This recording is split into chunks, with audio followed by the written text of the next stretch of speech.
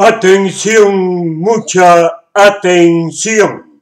Noticia de última hora que transmitimos a través de nuestro programa Entre tú y yo. Urgente, muy urgente. Damas de blanco de nuevo detenidas en Cuba. De nuevo detenidas las activistas y damas de blanco Sonia Garro, Charito, Lady Coca, Niurka Luque e Ivonne Melleza.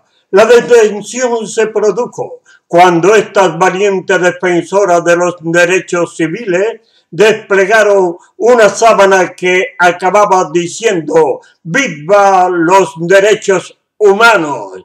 En el lugar denominado por los represores castristas como tribuna antiimperialista situada frente a la oficina de la SINA.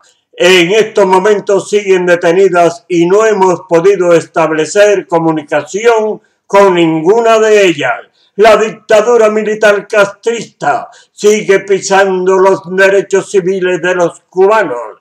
Reclamar los derechos humanos sigue siendo considerado como un delito por los criminales represores que sostienen la dictadura más abominable y repugnante de toda América. Para cuando deja el Tribunal Penal Internacional el poner a los Castro y todos sus cómplices bajo orden de búsqueda y captura por genocidio contra su pueblo. Hasta aquí nuestro informe de última hora.